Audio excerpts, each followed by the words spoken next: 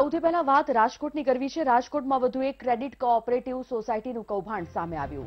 સમય trading company Ashish credit cooperative મંડળી દ્વારા કૌભાંડ આચરવામાં આવ્યું. લોકોના પૈસા લઈને મંડળીઓ ફરાર થઈ ગઈ. પોતાના પૈસા પરત મેળવવા લોકો દોડધામ કરી રહ્યા છે. બહુમાળી ચોક ખાતે લોકો એકઠા થયા છે અને પોલીસ કમિશનરને આવેદનપત્ર પણ આપ્યું છે. ગૌતમ ભેડા સંવાદદાતા ફોનલાઈન પર જોડાઈ ગયા છે. ગૌતમ, આ કૌભાંડ સંદર્ભે શું છે વિગતો? હજી ચોક્કસ, અગાઉ પણ રાજકોટની અંદર જે રીતના કોઓપરેટિવ સોસાયટીઓ છે, તેનું કૌભાંડ સામે આવી ચૂક્યું છે.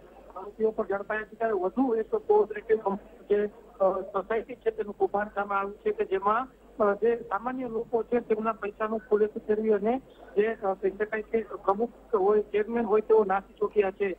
જે રીતના કહી છે સૌરાષ્ટ્રભરમાંથી જે સમય ટ્રેડિંગ કંપની અને આશીષ ક્રેડિટ કોઓપરેટિવ મંડળી છે, તેમના તેમાં રોકાણ કરવામાં આવ્યું હતું આ તમામ લોકો દ્વારા જે રોકાણ કરવામાં આવ્યું હતું, તેમના પૈસા લઈ અને જે સોસાયટીના જે ચેરમેન છે, પ્રમુખ છે, તેમના દ્વારા નાસી ગયા હોવાની જે વિગત સામે આવી છે. કરોડો રૂપિયાનું કૌભાંડ કરવામાં આવ્યું હોવાની પણ વિગત સામે આવી છે. ત્યારે તમામ જે ભોગ બનનાર લોકો છે, તેમના દ્વારા આજે પોલીસ આવેદન આપી અને રજૂઆત કરવામાં આવી હતી કે તાત્કાલિક ધોરણે આ લોકોને પકડવામાં આવે અને જે પણ લોકો આમાં ભોગ બની છે, તેમને તેમના જે પૈસા છે તે પાછા આપવામાં આવે. જી.